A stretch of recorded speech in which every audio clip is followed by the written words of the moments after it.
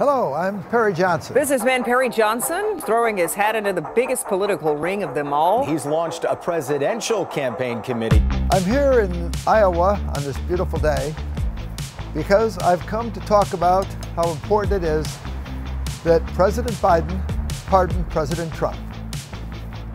I think it's a sin to start weaponizing our legal system for political reasons. It's un-American.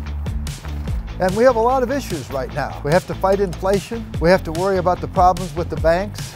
We have issues that are going on in Ukraine, issues with China and Russia. And let's focus on those issues because we all love America. And let's make it an issue that we can solve right now. Let's pardon President Trump. And I'm going to talk about that while I'm here.